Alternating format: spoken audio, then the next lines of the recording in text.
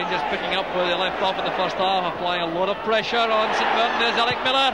A great cross and a marvellous goal from Derek Johnstone.